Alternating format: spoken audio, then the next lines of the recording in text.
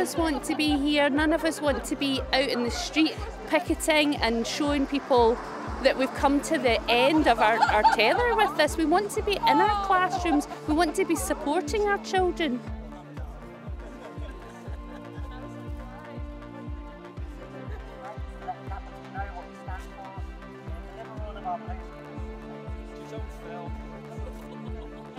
This order will mean the presiding officer of the Scottish Parliament will not submit the bill for royal assent. Vetoing this legislation is an unprecedented attack on the Scottish Parliament.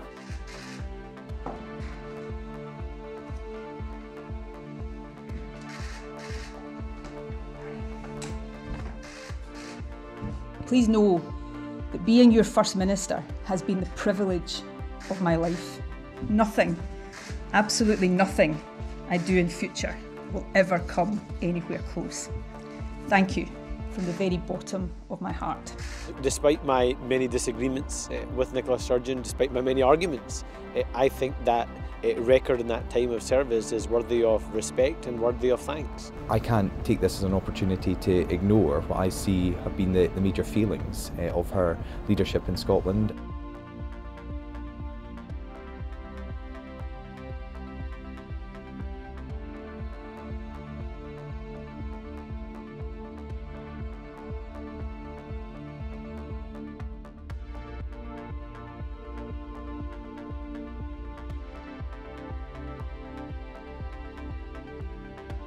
Well, Humza, you've had a number of jobs in government. When you were Transport Minister, the trains were never on time. When you were Justice Minister, the police were strained to breaking point. And now, as Health Minister, we've got record high waiting times. You've had many people, particularly from our LGBTQ community, say they won't vote for independence if you're the leader. Forget persuading no voters, you can't even keep yes voters and on side. I therefore declare Humza Yousaf duly elected as the Scottish National Party leader. Uh, I am not just humbled of that, I most certainly am. I also feel like the luckiest man in the world. It is a really proud day for me and my family. I hope it's also a proud day for Scotland as it speaks to our values as a country as I stand here as the first ever Muslim to lead a Western democratic nation.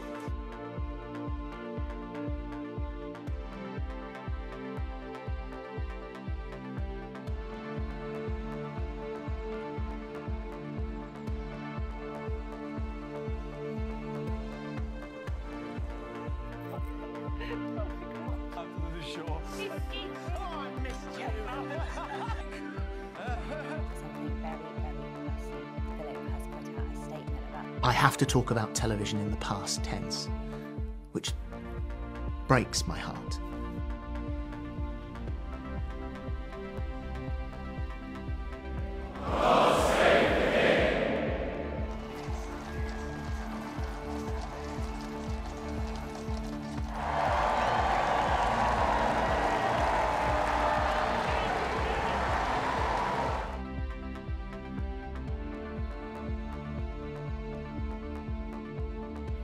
It is clear that Scotland's deposit return scheme, in the scope and form passed by this Parliament, cannot go ahead as currently planned.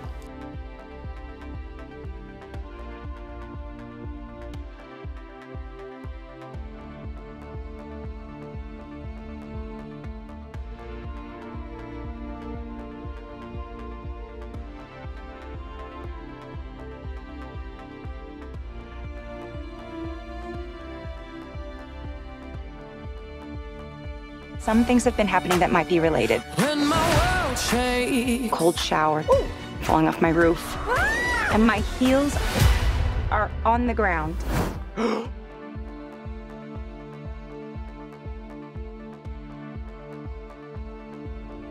we imagine a future, and our imaginings horrify us.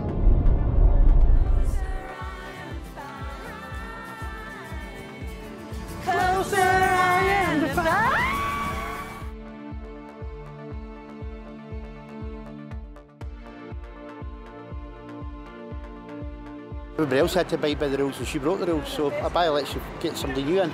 For people that lost relatives, it must have been absolutely sickening what she did.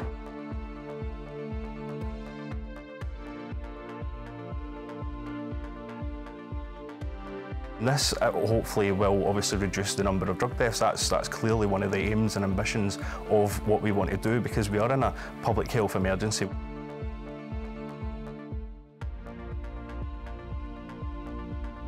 There's tens of thousands of people that have spoken out against Rosebank already. We're not going to give up on the fight now. We're going to continue to do everything in our power to stop this disastrous oil field from going ahead. This, is, I think, is an important thing that's happened today. It's good for energy security. It's good for jobs and investment in this country.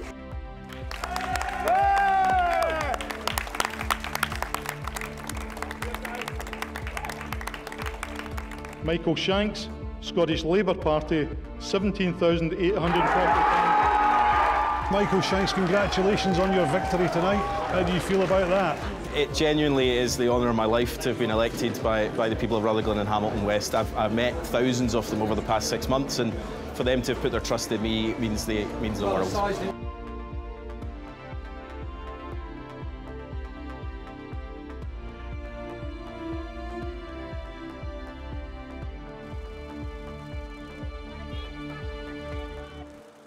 Have come to the realisation that I'm not able to progress and achieve independence in the way that I would like to. I'm not able to talk about independence or the strategy for independence in the way I would like to within the SNP.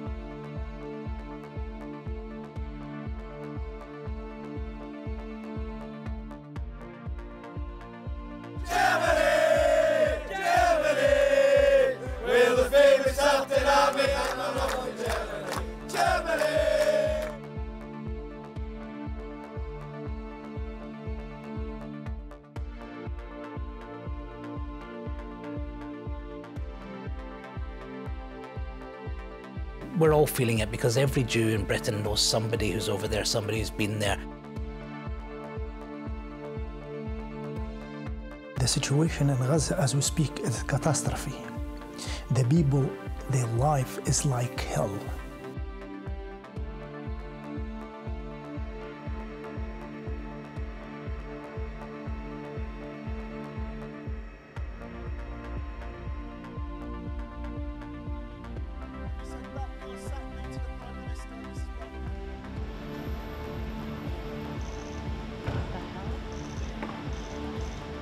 I know it's not usual for a Prime Minister to come back in this way, but I believe in public service.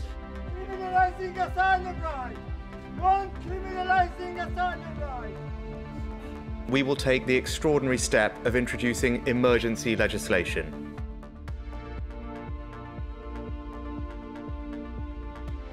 I wanted to protect my family from being part from being part of the political and media scrutiny associated with this.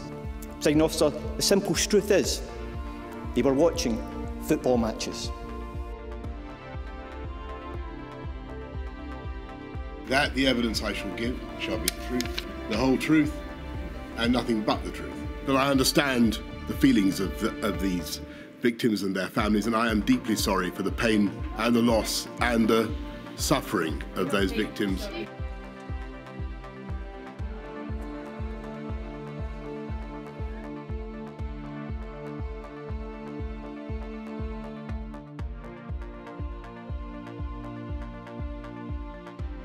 I share their frustration. My patience with this has worn thin. We've got to end the legal merry-go-round that has blocked us from getting our Rwanda scheme up and running.